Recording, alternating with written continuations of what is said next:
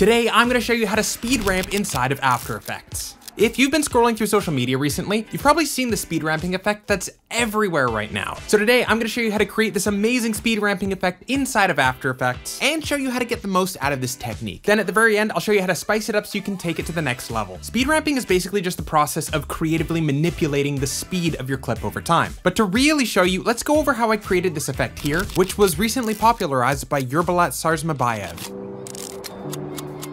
Okay, so let's start by grabbing our footage here and putting it into our timeline. But first, let's quickly make sure that our clip is only containing the part that we want to. It's gonna be difficult to edit and adjust things if we've got a bunch of excess footage hanging around. So once you've chopped it down to only the sections that you want, set your in and out point to be at the beginning and end of your clip using the B for the beginning and N for the end of your clip. Then right click here and select trim comp to work area. But now our clip length should be exactly the same length as our timeline. Then we're gonna prepare it by right clicking and selecting pre-compose and moving all attributes to the new composition. The reason we're doing this will become a little bit more clear later on. But now that we have a new clean composition, we can right click our clip and select time, enable time remapping. Here you should see two dots appear, one at the beginning and one at the end. Time remapping is the key to speed ramping in After Effects. Right now the footage still just plays back at normal speed, but if I bring the second keyframe closer to the first, you'll notice that immediately we increase the speed of our clip playback. Basically, these keyframes aren't what you're used to. They're not changes happening at a specific point in time, it's changing when that point in time of your clip actually plays. So because we moved the final frame of our clip closer to the beginning, everything plays faster and then it's frozen after this keyframe because there's nothing after the final frame. And knowing this, we can play with some interesting effects. Like if we make a keyframe somewhere in the middle, and then only a couple of frames later, we make another keyframe, but then move this one back, our footage plays and then slows down here because we're basically stretching out the duration of only this portion of our clip. It becomes a lot easier if you highlight these keyframes and then click on your graph editor. So now you can see exactly what's happening visually. By the way, we're using the speed graph right now.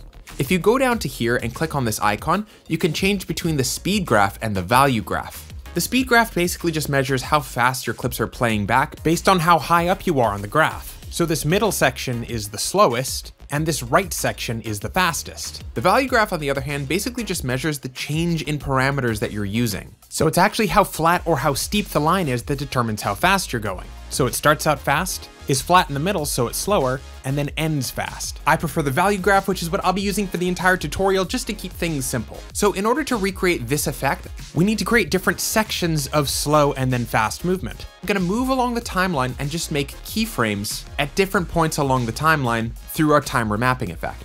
Right now, nothing should be different because I haven't actually changed any of these keyframes. I've essentially just marked them and enabled them to be manipulated. But now what I can do is go to the second keyframe, move one or two frames past it, make another keyframe, and then stretch it out a bit, just like we did before. And then do that over and over again for each section until we get to the end. Then we can shorten everything up by highlighting all of our keyframes, holding Alt or Option, and then taking the last keyframe and moving it closer to the first. And that'll speed everything up proportionally together. And with just that, we've got this. You can see the effect starting to take hold, but we're still just instantaneously changing the speed rather than ramping the speed. The first step to actually make your speed ramping work is to just smooth these out a bit, and we're gonna do that in the graph editor. Highlight all of your keyframes, right click, and select Keyframe Assistant, Easy Ease.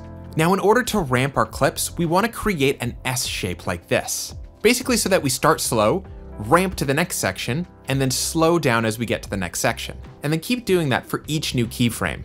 You can choose to do this manually for each different section to give it a little bit more creativity, or you can just highlight all of your keyframes here and then stretch out all the handles together to give it a more unified look and to save time. And with just that, we've gone from this to this really quickly, but it still feels like it's missing that pizzazz that you might have seen from other speed ramping effects. So I'll quickly show you some of the secrets that they're using because they're adding a little bit of something extra to their shots. First, we pre-composed this shot before so that we could dive into this composition later on, and what we're gonna be doing to this is stabilizing our footage. People say that you need to stabilize your footage before speed ramping, and that's true, but because we pre-composed it first, After Effects is still going to act as if anything done to this base clip happens before any of the speed ramping that we did. So if we do our stabilization here, After Effects will act as if we did the stabilization first. And if for some reason you forgot to pre-compose it at the start, just take the clip with all of your speed ramping and pre-compose it, but make sure that leave attributes is selected. Now your ramping will stay in this section and your base clip will remain untouched, ready to be stabilized. So let's highlight our clip and go to our tracker section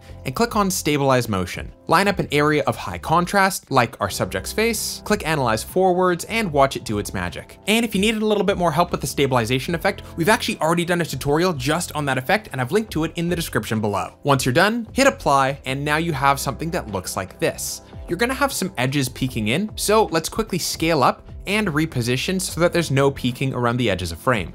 And now you can click tab and then go back to your higher composition and you can see that our effect now looks way better than before. All that speed ramping now feels like it just hits so much harder because the subject's face is staying in exactly the same place. It stops looking chaotic and it starts feeling way more stylized. Now, before I show you the last little bits of spice that you can sprinkle onto this effect, let me show you some of the other creative ways that you can utilize speed ramping. First, you can create this boomerang style effect by going forwards and backwards by using a simple set of four keyframes. Have your starting keyframe, the keyframe where you want to end, and then you can copy and paste that second keyframe just a few frames later. Then copy and paste the first keyframe all the way at the end. So you basically have keyframe 1, keyframe 2, and then keyframe 2 again, and keyframe 1 again. Now the key is to make sure that they have the correct shape, so go to your graph editor and adjust the first keyframe so that it has this sort of a shape to the graph, starting super fast and then slowing down as it gets into the second keyframe. Then do the opposite for the ending keyframe, starting slow and then becoming faster and faster as it gets closer towards the third keyframe. And you can also change up the distance between these keyframes to give a little bit more emphasis. Like for example, if you speed up the third keyframe here by dragging it closer to the second, the end of the boomerang leaves more intensely than it came in, which is a great option to help you with another tip, which is to use speed ramps as a transition. By giving more energy to the beginning and end of your pieces of footage, it helps them to feel like they're more connected and it makes them feel less like cuts and more like transitions. If I just put these two clips back to back, it looks okay.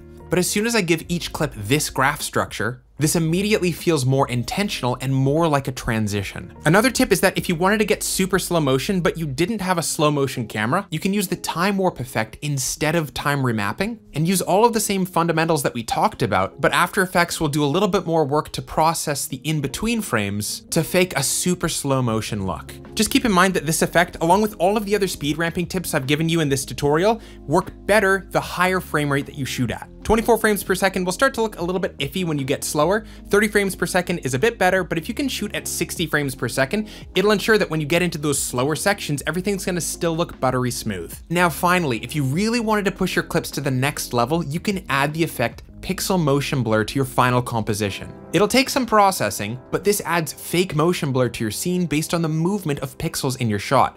And the great thing is that because our subject is remaining in a similar position in frame the whole time, there's really little motion blur on them, but a lot of motion blur on the scene around them. This helps to add energy because it makes it feel like there's a bigger motion in your shot, but it also helps to highlight your subject because the world around them is blurry and they're more in focus by comparison. It's kind of the same principle that makes your subject stand out when you shoot with a shallow depth of field. But now here's the absolute cherry on top that's gonna take your effect to the next level, and that's with some incredible sound design. I mentioned this viral speed ramping short at the beginning of the video, and the reason that this one went so viral, in my opinion, is because of the incredible sound design that went into it.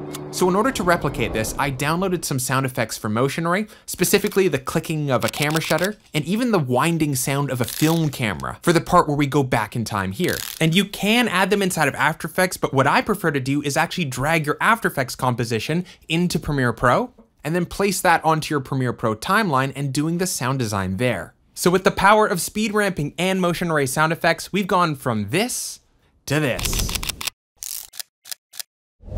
I've left a link to all of those sound effects in a special collection in the description down below, and if you wanted to keep growing on your After Effects journey, you can check out this video right over here. I'll see you over there.